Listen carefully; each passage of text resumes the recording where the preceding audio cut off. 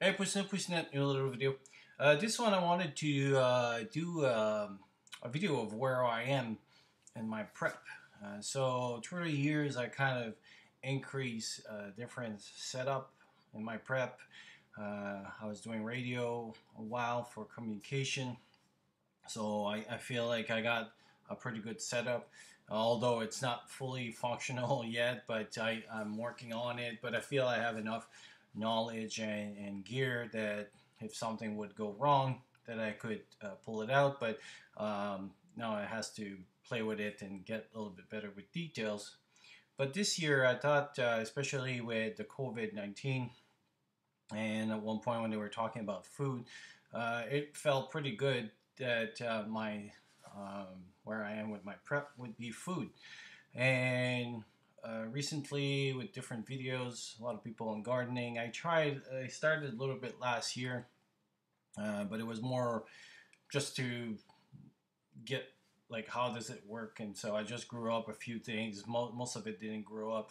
Uh, some did. I uh, so it was not really to eat but was more for to see what it is all about like what what kind of stuff you need read a little bit about it but it was nothing too serious. It was more um, kind of just touchy and grow some herbs. And I a lot of the stuff burned out. Some got destroyed with pigeons. they set up a nest, and uh, other stuff uh, did grow, and I got to use it uh, for some recipe. Mostly was herbs, like I said, because um, my main goal was not so much uh, because I had a small, smaller balcony. It was more about uh, growing um, herbs that I could use for not only culinary but also for uh, doing my own medication, which uh, this year I think I'm gonna get back into a little bit more seriously. Uh, and again, not as um, my main. Um, it just good again good skills to have just like a bow drill if you have a chance uh, a, cho- a, choice between starting uh, a uh, fire with a lighter or a bow drill, you would go with a lighter because it's easier and works better. But uh, if you have to, then you have the skills at least. So uh, making my own medication is a little bit the same thing. And by growing a lot of stuff, as you'll see some in the pictures that I'm going to show, it's growing crazy. And so I don't even have enough to uh, put in food. So uh, I'm preserving some well, so I was like, oh, might as well do some um, tinctures and all that, which will be good practice as well. And if I screw up the batch, well, I have more to come, so it's not as um, involving than uh, if I, let's say, would be in a serious, serious situation when I would need to do medication or um, some herbs that you can purchase uh, are pretty expensive, so I wouldn't want to screw up my technique with that. So, uh, so based on that, this year I started a uh, uh, gardening, and I'm trying a bunch of stuff. Uh, so there's uh, containers. There is as well um, hydroponic and two types of hydroponic. And so, uh, with further ado, let's start with the video. So on this one, it's my main containers. As you can see, there's different containers. Uh, there's some are pretty big, uh, some are more the five gallon, um, and in the five gallon, I'm mostly growing tomatoes. In the other containers, uh, I got some zucchinis going on. A lot of uh, parsley. The parsley is just going wild. we just cut yesterday uh, some to uh, catch it up, and um, we've been freezing some in little package uh, based on something I read on YouTube because we have so much it's it's it's crazy. Uh, zucchinis are starting to show up. We're seeing like little babies of zucchini so that that could be cool. Uh, it's gonna be nice to have. Tomatoes also are starting to grow so that's gonna be interesting to eat. Uh, I have also strawberries uh, sorry, not straw. Uh, yeah, strawberries. Yes, not raspberries. Strawberries, uh, and they're flowering, so it's going to be interesting to see how they grow up and uh, and another one too has rosemary, thyme, and that as well, and oh, some oregano. So we got uh, parsley, oregano, rosemary, thyme, mint, and um, yeah, mostly tomatoes. And, and even in the tomato, we have tomatillo, two type of tomatoes, uh, and it's it's growing crazy. It's like um, it was like very slow, and some of them were started from seeds, which was the first experience, uh, and others were uh, purchased. Like for example, the tomato tomato would purchase as a little plant and they grow, and some of them uh, because got so excited, we purchased kind of early, and I think it was around April, uh, and here was still kind of cold outside, and so some of them were kind of growth, and for afraid that we were going to lose, and then they just went. Bok choy also, or pak choy, I forgot which one we have, but amazing. It's it's so cool. I think we're at the fourth time that we're cutting big leaves. Awesome to eat and literally go out on the balcony, cut some, cook some, and then you they restart regrowing. Uh, next two or three days you have to regrow as well. So that's a, a nice one that I'm going to grow and probably even um, when uh, the hydroponic will start going inside, we'll probably continue because uh, it's a great green uh, I love Asian. We're starting to cook a little bit more ramen noodles and things like that, especially with the restaurant closed. Um, have to do our own things, and so we're starting to redo um, what we would do usually going to restaurants of four soups and things like that. And I'm finding some cool recipe that are very quick to do, nice to do for lunch. Um, and the uh, pak choy um, are awesome. On the next video here, that's the hydroponic. Um, so we got uh, a few experiment going on. Uh, first of all, the first videos I got into hydroponic, a lot of people were talking about putting sterile water, so that way it's easier and you don't have to buy all the machines to see how much um, residual you have and everything. But it became pretty expensive because every time that you and you have to go out and buy some and then you have to change the water and again that's a lot of gallon of, of water distilled water that you have to use. So we're doing an experiment right now. Um, uh, so we have three containers. One has sterile water uh, distilled water sorry not sterile water. One was uh, we just boiled the water to kind of clear and see if it would help a little bit. And then the other one's just uh, regular water. They have all the same um, mix in um, for the growth. And we're seeing if we're seeing any difference. So far, I don't see any difference, which is a good sign because that means that we won't have to work so hard and just fill out the water. Um, and actually, even uh, the regular water we have, and also change our products that we were using.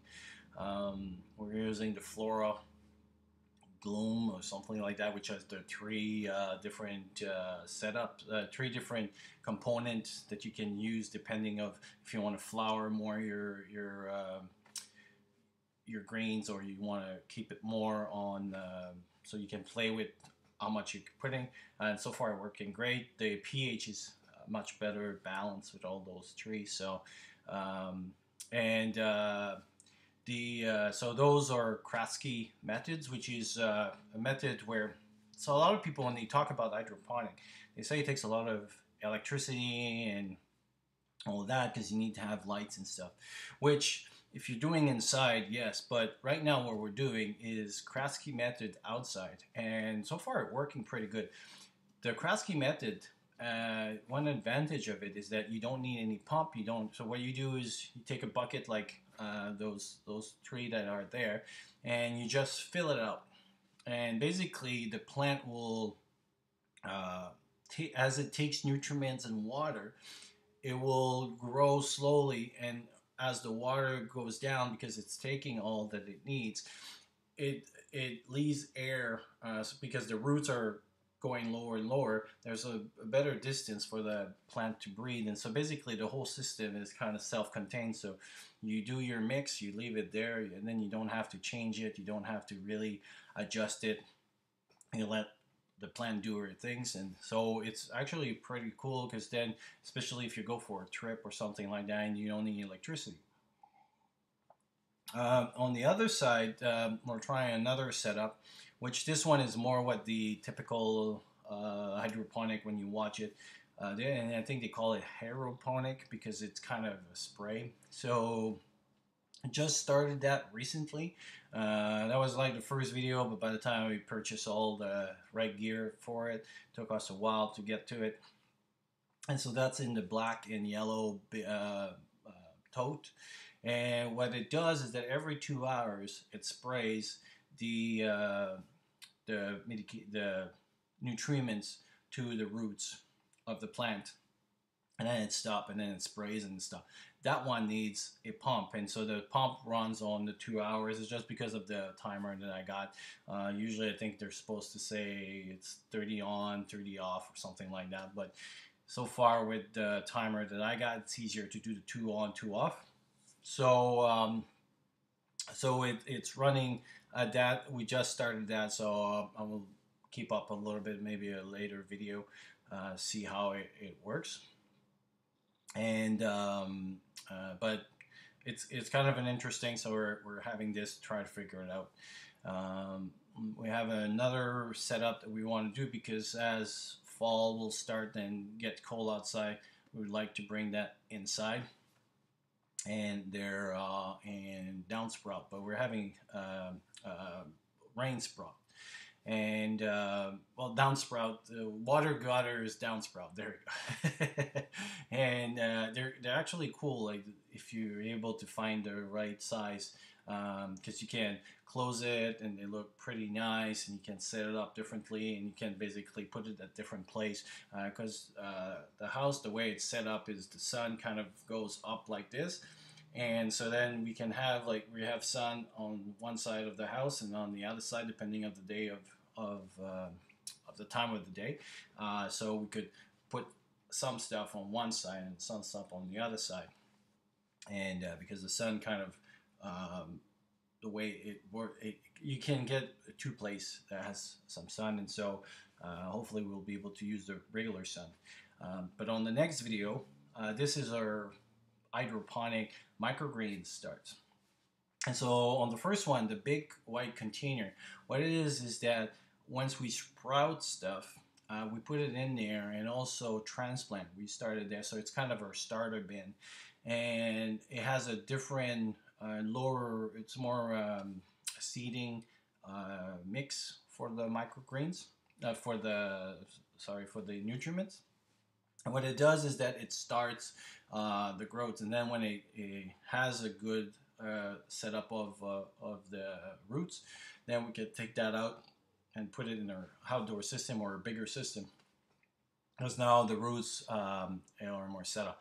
It works actually pretty good we had containers that we already had here and one other issue that we had is it's transparent and so we're seeing a lot of algae but this setup you're supposed to not uh, like they don't stay there very long like maybe a week or two uh, and you're supposed to change the water regularly as well. So we thought initially it would work but uh, we're still working on that. We may have to buy another um, but uh, I think it has 60 uh, small containers that we can start. And so uh, plants kind of goes there. It's called our stage two because stage one is when we have the uh, the seeds and we start from the seeds and then we put them over there and then it goes.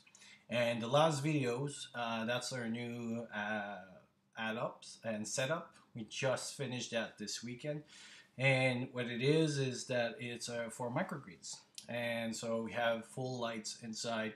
Timer 17. Uh, I think it, I think right now it's at 16 on, 8 off. And basically, it's trays, and we're still playing with this. Uh, we brought all the seeds and the trays. Uh, so now what we're figuring out is the medium, the best medium to use. We bought different one. The first batch we tried it was kind of a strange color to it. We're not sure if it was the humidity or the medium or us, and so because there's a lot of uh, new thing to start. Uh, so we're gonna run a few experiments, and as when I start getting a little bit better with it, then um, more constant production, I'll make a video of what it looks like. But basically, um, the whole uh, thing is there, and there's three places that we can put trays.